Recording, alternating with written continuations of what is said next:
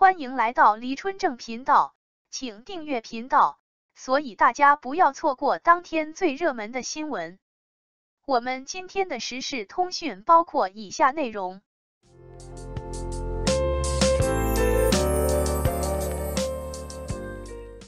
王一博给岳云鹏洗脚，意想不到是热水，幕后花絮这么好笑。现在谁的热度高？王一博这个名字。貌似成了各大综艺中只要提及就会有流量和热度的人。拿捏流量密码的人都知道王一博是一个好用的存在，更别说跟他合作，更是可以拿出来说的。没想到小岳岳这次弄明白了，上次小岳岳跟小沈阳两人都不及沈春阳一句话有看点，那就是在小岳岳和小沈阳两人中。他选择了王一博，吃到了话题热度的小月月，这次难得一见分享了在拍摄《热烈》中的幕后故事，成功打开了大家的好奇心，顺带着也把其中的笑梗打开了。在今晚开放麦中，小月月讲《热烈》时期的拍摄，这段花絮在正片中一带而过，可是拍摄的素材却很多，那就是在剧中。小岳岳出演王一博的舅舅，生活中处处照顾，饰演艺术家气质的小岳岳，拍摄给小岳岳洗脚的片段，结果洗脚水居然是热水。小岳岳说用开水洗脚，洗了两三分钟，王一博憋笑憋出了内伤，自己却憋出了烫伤。整个画面被小岳岳描绘出来后，相当的搞笑，居然无人心疼烫伤的他。都在关心王一博撤笑的承受度。其实后续还有，那就是在给小月月洗完脚后，王一博没有洗手，而是直接给小月月喂药，不知道这味道如何，是不是更好笑了？当时现场的人都被这一幕给笑扑腾了。就是因为王一博拍摄这部剧后，好多人说王一博变了，昔日的酷盖。怎么也就酷不起来了，笑得跟花一样，甜分增加，一张帅气的脸变得奶里奶气，还分外招人喜欢。这一部作品可谓是笑梗停不下来，谁看了都会笑出大鹅声。不愧是云集喜剧人的作品，随处都是笑梗，难怪现在我们看王一博，总感觉他不搞笑。但是却总会给人搞笑的既视感，原来搞笑是会传染的。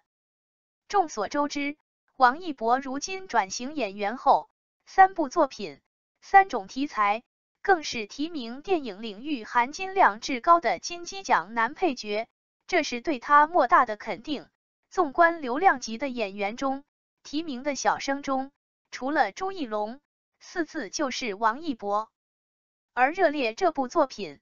更贴合王一博本人的经历，街舞舞者的青春奋斗过程，给人向上的力量。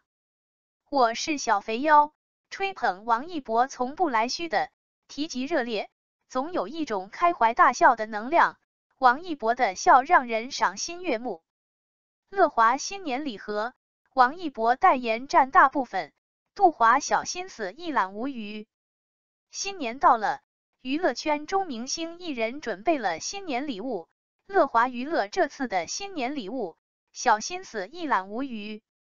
作为摇钱树的王一博，也是业内公认的招财小金猪，代言更是一骑绝尘的存在。看一下今年乐华娱乐的新年礼物吧，品类繁多，大部分都是王一博的代言，可是却也夹带私货，那就是杜华的小心思。果然是占尽便宜。新年的礼物盒中有乐华娱乐日历，王一博代言墩墩桶，王一博代言的 C 咖面膜，植村秀唇釉，阿道夫洗发水，杜华面膜，杜华防晒，安踏帽子，康师傅冰红茶兑换卡，乐华抱枕，乐华收纳包，红包，福字。哎呀，看到这些东西。很多人笑着说，这新年礼物就是王一博的代言加杜华的一对破烂吗？这个好命女人怎么这么喜欢折腾，无时无刻不想着出道？去年一年里，有王一博的地方，可没少见到他。新年礼物中，还不忘记给自己的产品打一波宣传。就问一下，杜华，你的面膜好用吗？都知道王一博的新年礼物，往年都是自己代言的产品，很实用也很用心，让不少人都对其爱不释手。如今这一番对比后，很多人明显觉得有种被占便宜了。杜华的小心思可是没少用，感觉都用在王一博身上了。这次乐华的新年礼盒被调侃有点寒酸，坐拥王一博这么多代言，居然就拿出来水杯、面膜、洗发水等，这个有些说不过去。乐华这省钱的做法。对得起王一博为他辛苦打工吗？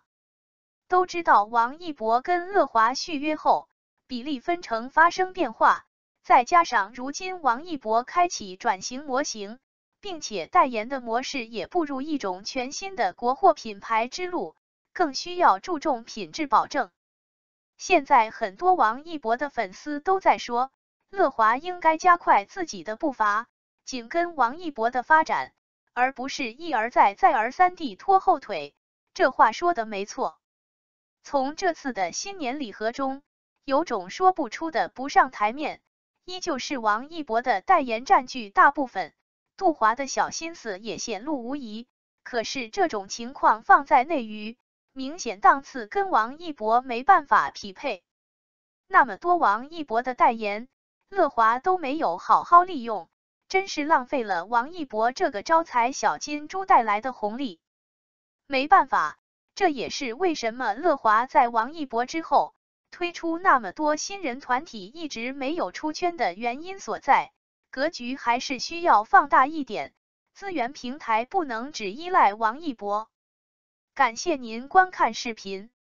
如果您觉得本实时通讯有用，请不要忘记点赞、评论和订阅。祝您生活愉快，充满活力！再见。